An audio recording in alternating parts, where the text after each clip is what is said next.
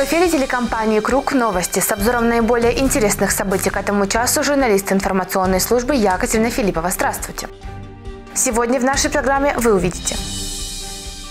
В Одесском национальном медицинском университете состоялось совещание наблюдательного совета при участии комиссии министра здравоохранения. Детский лагерь «Виктория» остается опасным для жизни и здоровья отдыхающих. Городская власть не выполнила в полном объеме предписания по противопожарной безопасности. Состоялось очередное судебное заседание по Красным Зорям. Разработчиков учетной документации по санаторию вызвали в суд в качестве свидетелей. Пожар в детском оздоровительно-спортивном комплексе «Виктория» может повториться. Одесская мэрия не выполнила в полном объеме предписания Государственной службы по чрезвычайным ситуациям относительно обеспечения норм противопожарной безопасности. Об опасной халатности чиновников мэрии сообщил журналистский проект «Следство инфо». На запрос в Главное управление Государственной службы по чрезвычайным ситуациям в Одесской области получен неутешительный ответ. Необходимого объема воды для тушения пожара на территории лагеря «Виктория» нет. Пожарный водоем и гидрант не отремонтированы и к тому же находятся на арестованном судом закрытом участке. В одном из корпусов не проверяли пожарные краны. Это не помешало нашей мэрии возобновить работу учреждения. В августе, сразу же после инспекторской проверки, которая выявила выявила нарушение, туда заселили 103 ребенка, в основном из семи льготных категорий населения. Городской департамент образования и науки отрапортовал о наведении полного порядка. Там було проведено масштабні ремонтні роботи, оновлено меблі, заключено договори на проведення необхідних робіт, які будуть супроводжувати процес оздоровлення дітей. Це і харчування, і пожежна безпека, і забезпечення питною водою. Тощо обращаться к чиновникам Одесской мэрии, а также к полиции и прокуратуре бесполезно. Стоит обратиться к родителям с предупреждением. Если вам предложат путевку для ребенка в самый лучший украинский лагерь Виктория, вспомните, что случилось там в сентябре 2017 года. И не рискуйте жизнями своих детей.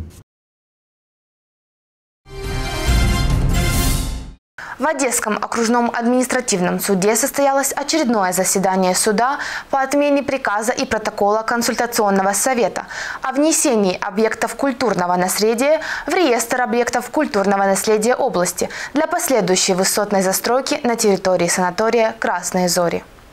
23 сентября состоялось очередное заседание по рассмотрению судебного дела санатория «Красные зори». Сторонами процесса были поданы разъяснения по сути обозначенного спора. И Департаментом культуры было заявлено ходатайство на проведение повторной экспертизы учетной документации, на основании которой был принят приказ о занесении обозначенного комплекса в перечень объектов культурного наследия Одесской области. Облікова документація була ще в червні направлена до до Міністерства культури України е, для занесення до державного реєстру нерухомих пам'яток України. Наразі ми чекаємо рішення висновок експертної комісії з питань занесення об'єктів до державного реєстру нерухомих пам'яток України та відповідний наказ Міністерства культури. Однак хочу наголосити на тому, що наразі е, спір стосується занесення зазначеного об'єкту до переліку об'єктів культурної спадщини Одеської області. Процедура наша запущена супровідним листом була направлена документ документація до міністерства. Наразі ми чекаємо висновок. Офіційно жодного висновку, ні протоколу, ні наказу до департаменту не надходило.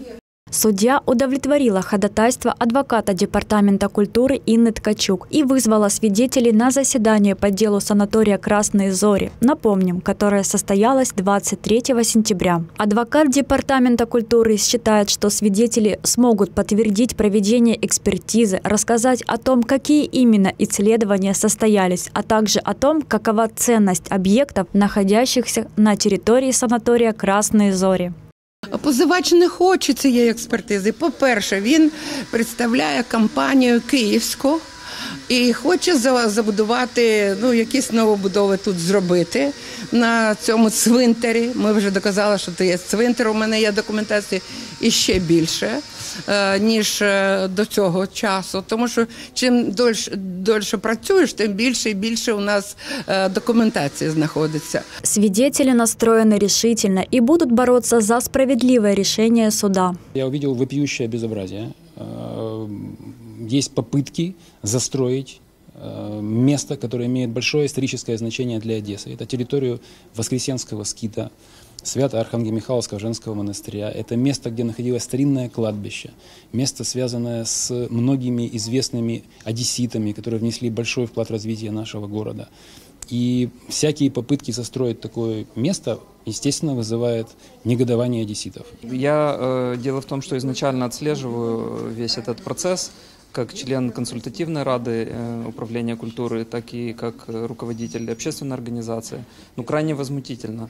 Э, какая-то общественная организация, коммерческая, да, решила просто отхватить кусок э, земли, представляющий историческую ценность, во-первых, и во-вторых, действительно территория кладбищенская, то есть с остатками захоронений, территория, которая э, должна, э, по сути, являться рекреационной зоной.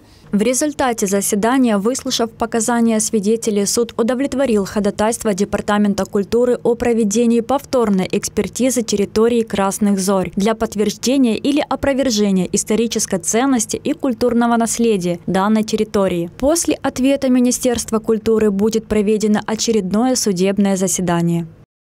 Заместитель Одесского городского головы Петр Рябаконь закрыл аппаратное совещание раньше времени. Причиной стал конфликт с депутатом Владимиром Корниенко.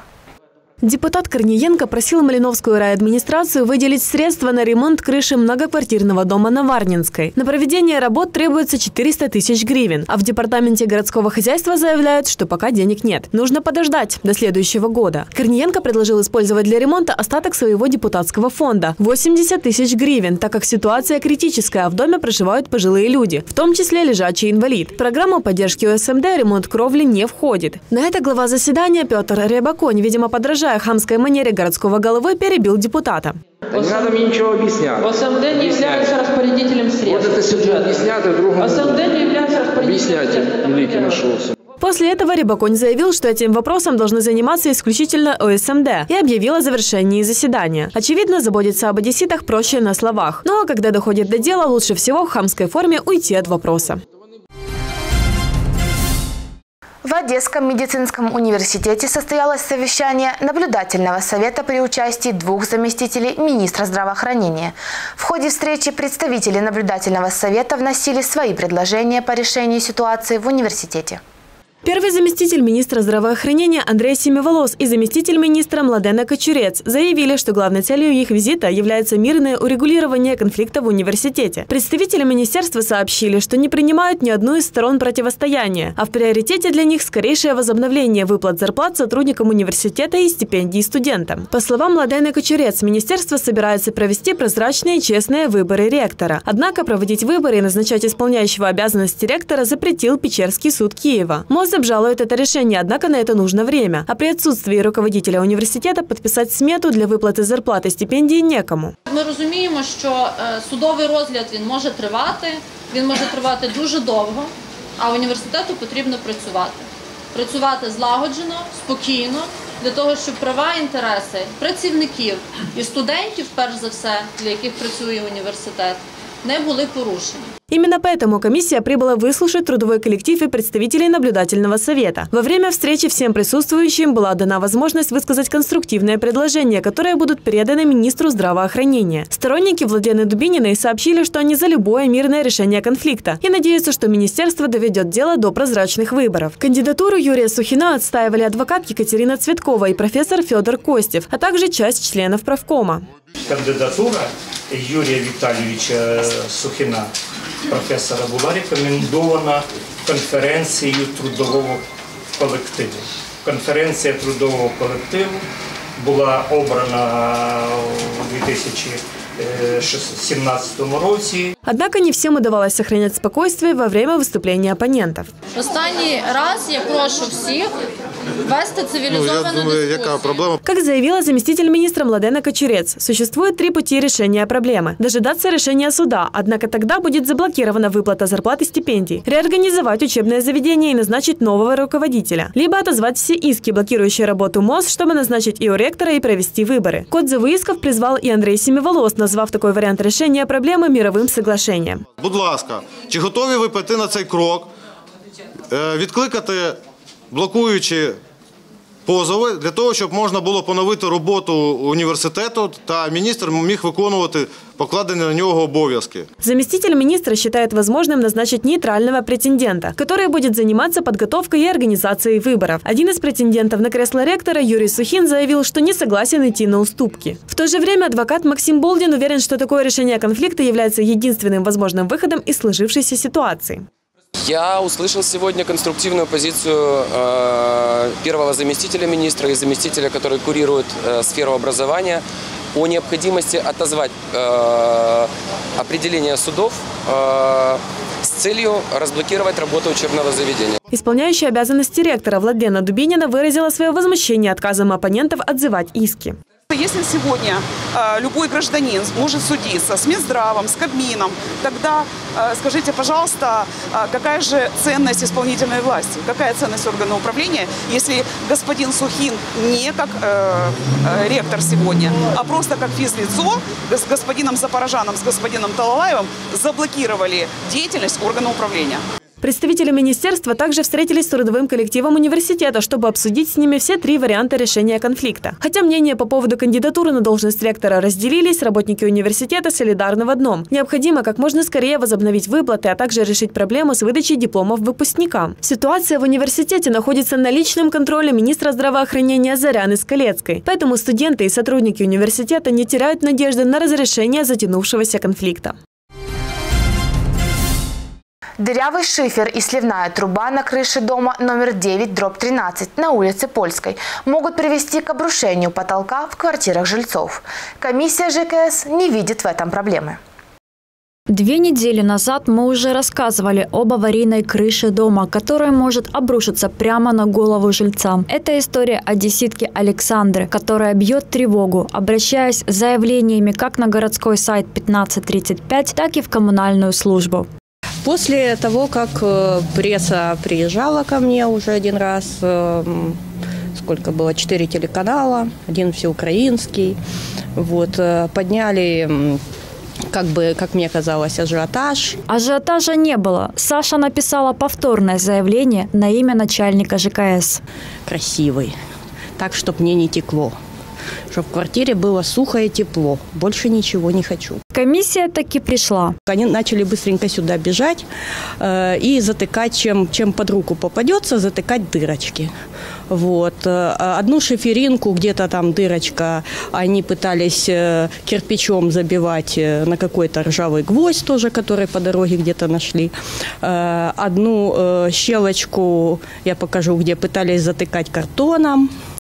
И когда подошел независимый кровельщик со стороны общественницы, чудная комиссия во главе с начальницей ЖКС, по словам Саши, сразу убежала, сказав перед этим, что когда пойдет дождь, звоните, и тогда комиссия будет что-то думать. То, что мы увидели не на крыше, а на чердаке, это было просто удивительно. Вот удивительно вообще, как люди вот это вот делают и зачем. А, он спустился на чердак и просмотрел а, весь шифер э, с чердака.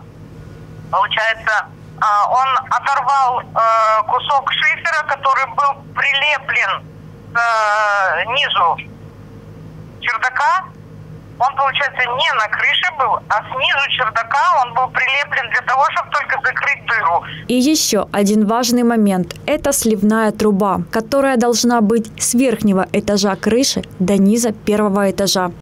Вот тут вот есть прелесть, которая, я не знаю, вот если это в Одессе, вот э, женщина, которая по правам инвалидов, она посмотрела, она просто в Донецке была э, начальником ЖЭКа. И она говорит, я такое вот вижу первый раз в своей жизни. Это слив под крышей. Э, это слив, э, желоб, видите, по которому стекает вода в корыто. И с корыта, когда оно переполняется, течет прямо на крышу.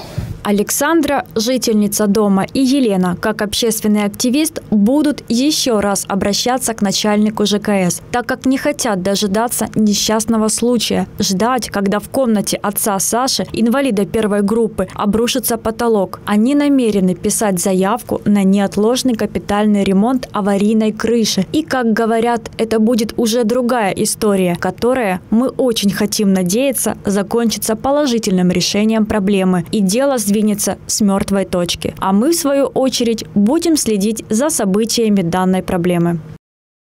В Одессе учащаются случаи незаконного слива жидких бытовых отходов частными осенизационными автомобилями в городской канализационной сети.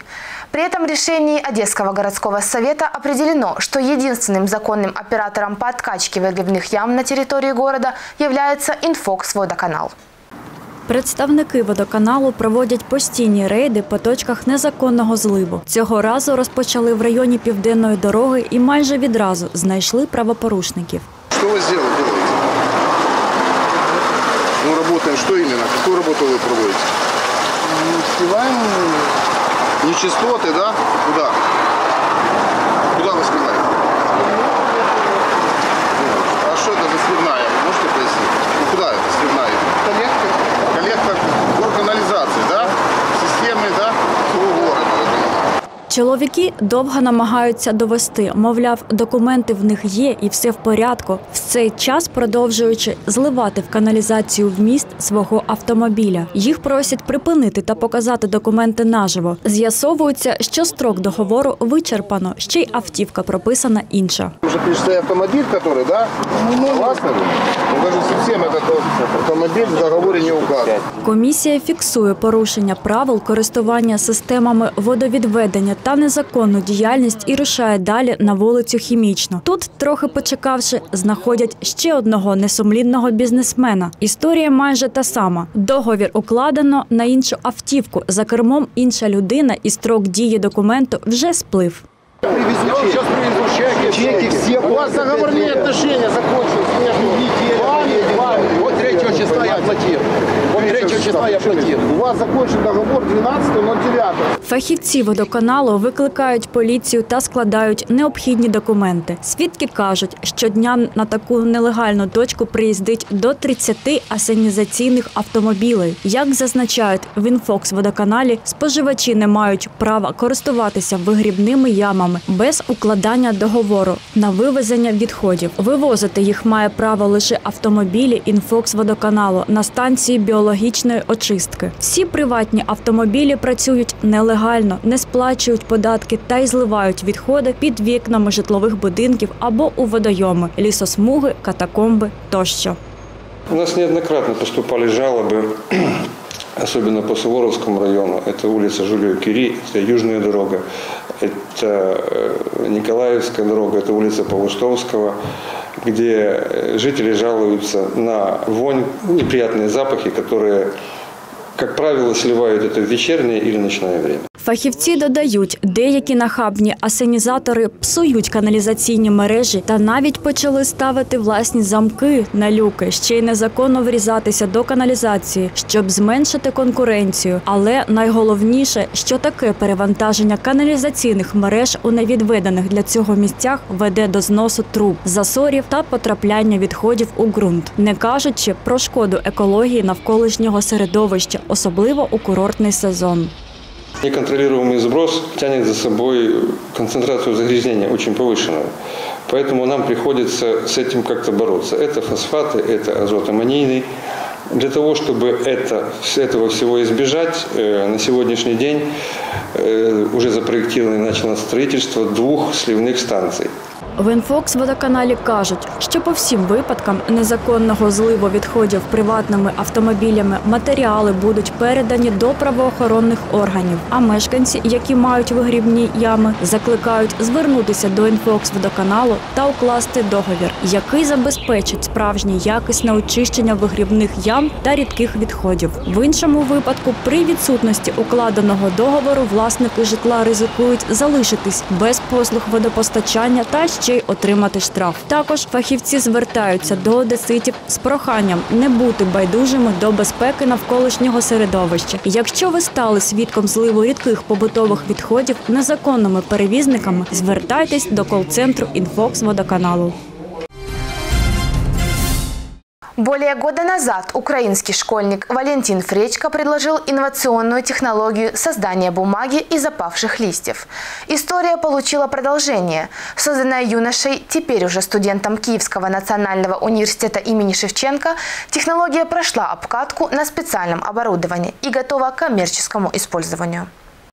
Киеве прошло стартовое тестирование первой в мире линии по изготовлению экобумаги из опавших листьев. Технологию Relief Paper разработал еще будучи школьником Валентин Фречко. Год назад юноша выиграл с этим проектом мировую олимпиаду в Соединенных Штатах и сразу начал воплощать его в жизнь. Первые образцы бумаги были получены благодаря экспериментам в домашних условиях. Сейчас над усовершенствованием технологии работает целая команда единомышленников. Испытания подтвердили, что листья эффективно заменяют древесину, и вскоре Relief начнет работать в промышленных масштабах. Такое производство бумаги намного экономичнее и целесообразнее, чем производство бумаги из древесины. Это новая точка отсчета для целлюлозно-бумажной промышленности. Как сырье, опавшие листья имеют мощнейший потенциал. Наш выпуск новостей подошел к концу. Далее информация синоптиков о погоде. А я напоминаю, что новости телекомпании «Круг» всегда доступны онлайн по адресу kruг.com.ua.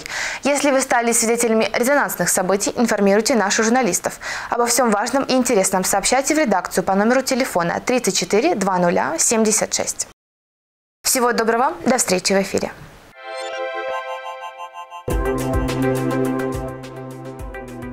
По прогнозу гидрометцентра Черного и Азовского морей 25 сентября в Одессе переменная облачность без осадков.